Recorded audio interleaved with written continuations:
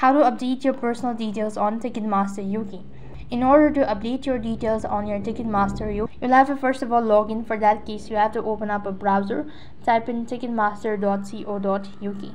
It's going to take you to the official web page and here press the profile icon from the top right hand side corner and when you do that press the login button and then enter in your credential. Once you're logged in from the home page itself you can go to the profile section or my profile section in your account. And uh, if you change your billing address all future bookings will be sent to that new address. And if you've already had a booking then you can contact the fan support and state about the issues.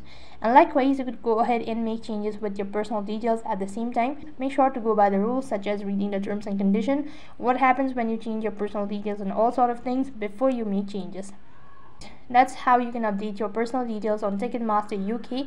That is all for this video. I hope the video was helpful. Make sure to like, share and subscribe to our channel. Thank you for watching. See you in the next video.